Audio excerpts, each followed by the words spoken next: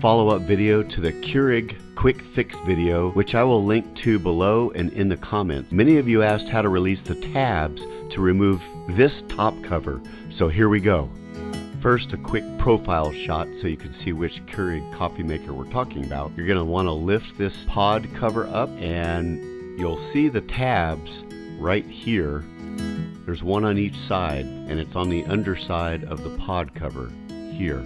You're going to use both hands, put your index fingers on the silver part on the top to hold it firm and then use your thumbs at the same time press both tabs straight up against the cover. To replace the cover, lay it on top. Line up the tabs with the holes.